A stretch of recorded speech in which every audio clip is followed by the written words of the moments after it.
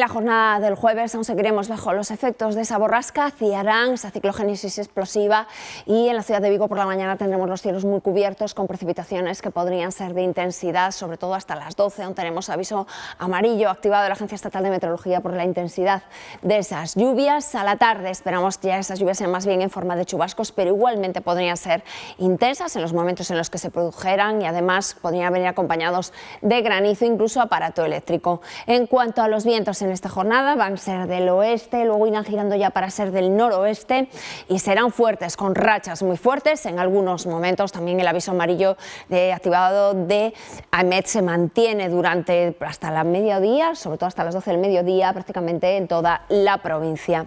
Y en cuanto a temperaturas, pues vamos a notar un descenso significativo de las mismas, sobre todo en la segunda mitad del día, y las mínimas son las que van a descender. En Vigo esperamos esa mínima de 12 grados, 12 en Redondela, 11 en Vila García, 12 en Cangas, 11 en Aguarda. En cuanto a las máximas, pues podríamos tener ligeros descensos, como les decimos, sobre todo en la segunda mitad del día, aunque la máxima prevista en Vigo sería esos 19 grados.